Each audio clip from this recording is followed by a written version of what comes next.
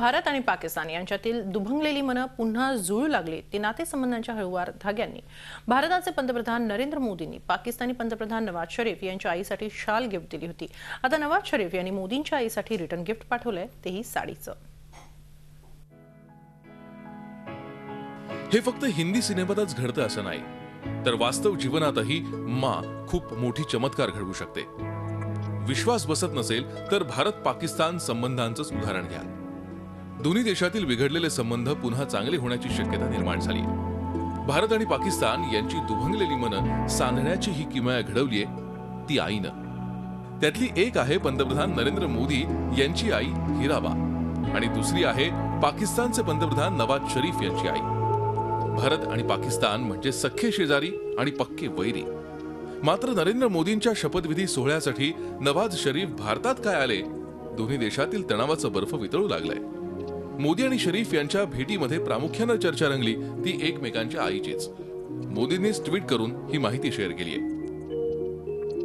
नवाज शरीफ यांनी मोदींना सांगितलं की ते इस्लामाबादला राहतात आणि आठवड्यातून एकदा आईला भेटायला जातात.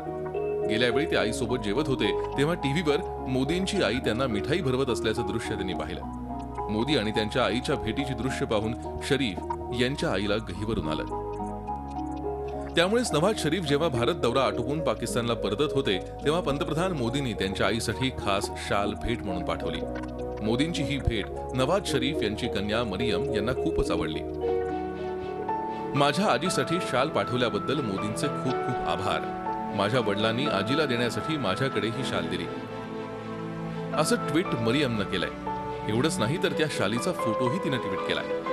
आता पाकिस्तानी पंतप्रधान नवाज शरीफ यांनी रिटर्न गिफ्ट पाठवलंय. नरेंद्र मोदींची आई हिराबा यांच्यासाठी त्यांनी खास सफेद साडी भेट म्हणून पाठवली आहे. नरेंद्र मोदींनी ट्विट करून ही माहिती जगाला दिली. एवढंच नाही तर पाकिस्तानी पंतप्रधानांनी पाठवलेली ही साडी तात्काळ हिराबा यांच्यापर्यंत पोहोचवण्याची व्यवस्थाही त्यांनी केली. त्यामुळे आजवर भारत पाक उभयपक्षी वाटाघाटींनी क्रिकेट सामन्यांच्या डिप्लोमसीनं आणि अमन शांतीच्या मैफिलींनी जो परिणाम साधला नव्हता तो आता दिसू लागलाय.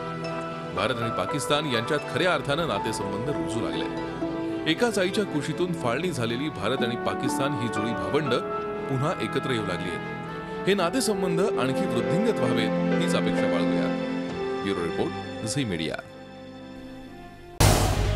Zee चोवीस तास रहा एक पाऊल पुढे.